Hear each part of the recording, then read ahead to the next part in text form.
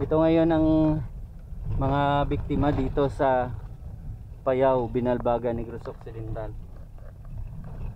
Halos lahat mga malalaking puno. Ito bahay, wala na. Tindahan to. Masak.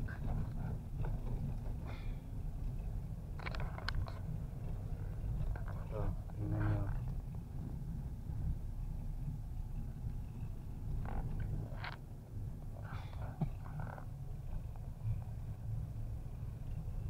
Yan o, mga laking puno rin.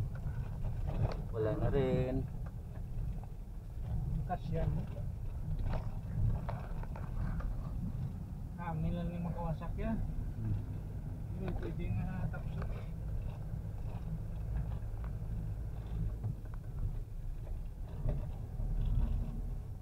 Para burong kahoy yun. Agoy araw. Ang dako nga luno ko. Ang napatumba. Yan, tapos ito. May pa ko.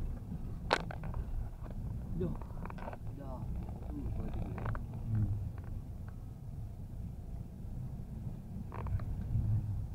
Ang daan nga. Why? Ang dako nga tao.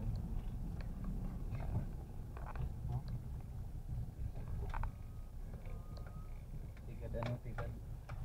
Tigad, tigad. uh,